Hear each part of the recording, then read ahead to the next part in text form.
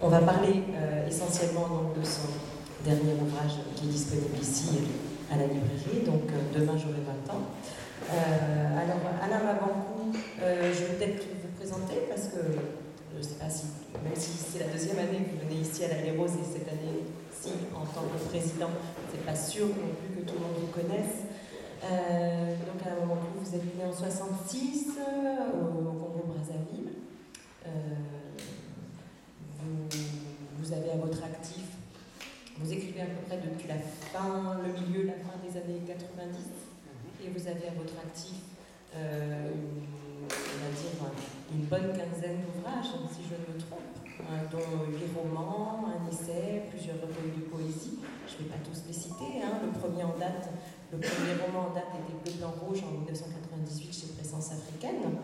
Euh, et euh, demain, j'aurai 20 ans, donc comme je l'ai dit, et votre huitième roman, paru en cette rentrée littéraire. Demain, j'aurai 20 ans. Pour résumer très brièvement, parce que je pense que tout le monde n'a pas eu le temps encore de le lire, est le roman de votre enfance, à point noir, évoqué au travers de la narration du petit Michel. C'est un enfant d'une dizaine d'années euh, qui garde les yeux grands ouverts sur le monde, dans le Congo des années 1970. Alors, première question, comment, Alain Mabankou, euh, situeriez-vous demain j'aurai 20 ans euh, dans l'évolution de votre œuvre Ça vous oblige à revenir un petit peu sur l'ensemble de ce que vous avez fait avant. Oh, merci, merci beaucoup.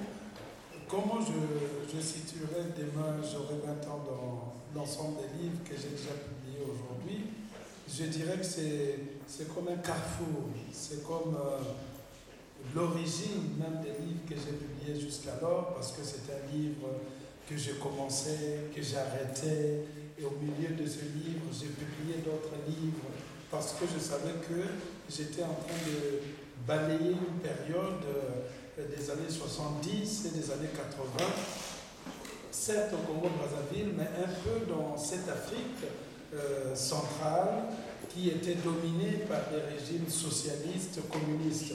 Donc je pense que demain j'aurai 20 ans est en quelque sorte pour moi le livre qui fonde euh, ce que j'ai écrit jusqu'alors. Pour ceux qui ont lu, la plupart de mes livres, ils retrouveront des petits clins d'œil, euh, de mémoire de porc épique, de verre cassé, euh, parfois même de Black Bazar, de la poésie, la ville de Pointe-Noire, les rapports avec la musique, la littérature euh, occidentale, africaine.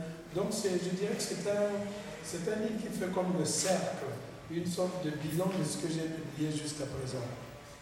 Une forme de génétique finalement de l'œuvre d'Alain Mabankou, et effectivement qui peut être euh, entrevue euh, de manière différente si on, effectivement, on a connaissance de l'ensemble de l'œuvre.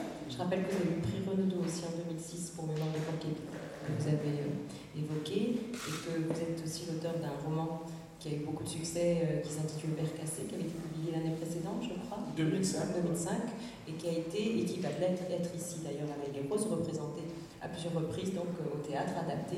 Euh, et là, une dernière mise en scène avec Fortune Batesa qui va être représentée mardi.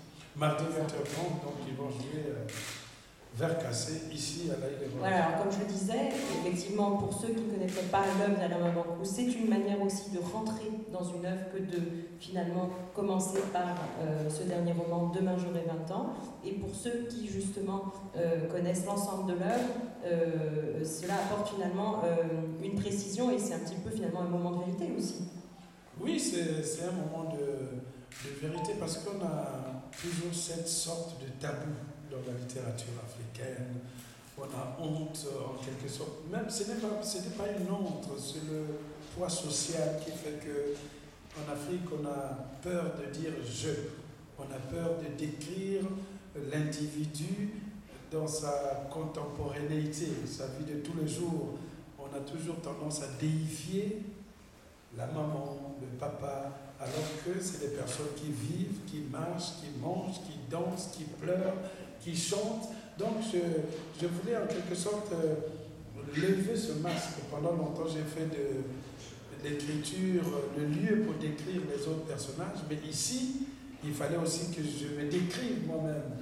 Mais je n'ai pas pu m'empêcher en me décrivant moi-même de décrire les, autres aussi. Donc c'est peut-être aussi le... Et puis vous abriter peut-être des rémunérations un peu particulières, parce que c'est quand même un enfant qui parle.